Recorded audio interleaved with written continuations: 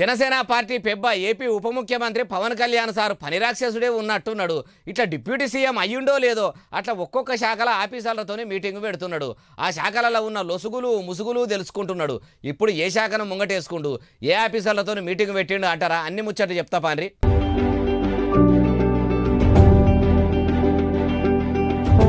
గ్రామ పంచాయతీరాజ్ శాఖల పెద్దెత్తున గోల్మాలు జరిగింది. కోట్ల పైకం ఆగమైనట్టు నాదాక ముచ్చటొచ్చింది.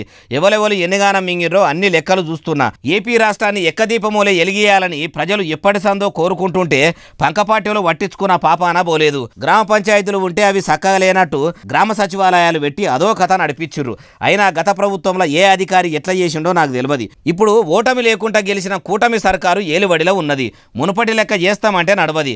పల్లెల పంట నేను ప్రచారాలకు పోయినప్పుడు చూసిన తాగే నీళ్ళ కాడికెళ్ళి నడిచే రోడ్ల దాకా అన్నిటికీ అవస్థలే ఉన్నాయి. అవన్నీ బాధలు పోయే తొవ్వ చూడుండ్రి. అవసరమైతే మనం పల్లెలకు పోయి మనమే చేపిద్దామని కూడా సారా అనొచ్చు. అయ్యా ఉప ముఖ్యమంత్రి గారు మీరు ఊర్ల గురించి ఇంత మంచిగా వివరించినాక మేము ఊకుంటామా అన్నవరం సినిమాల చెల్లెకు మీరు అన్నగా తోడుగా నిలబడ్డట్టు.